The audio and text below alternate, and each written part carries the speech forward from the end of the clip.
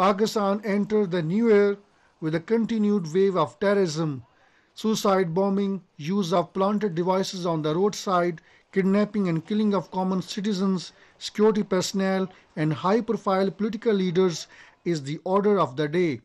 Pakistan Institute for Peace Studies, an Islamabad based private organization, says that the terrorism related violence in 2012 took away the lives of more than 5,000 people across the country.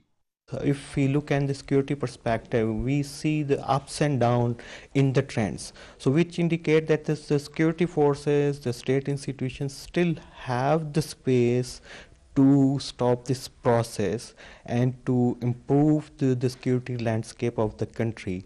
So, room is available, space is there, but there is a need to be have the proper response to the critical threat the country is facing right now. The study says the militants are reducing their dependence on suicide bombing and are now increasingly using planted explosive devices on the roadsides.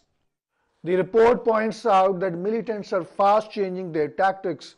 Attacks on public places are now being gradually replaced with high profile target killings and perhaps that was the reason that in the past year more than one third of terrorist attacks were assassination attempts by the militants.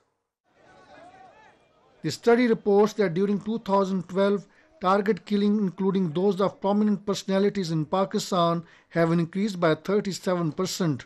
The reason why the United States went on war especially in Afghanistan and the so called war on terror, is because of the 911, in which the United States lost only 3,000 persons. So, for a loss of 3,000, causing a loss of the lives in Pakistan of nearly 39,000 is tremendous.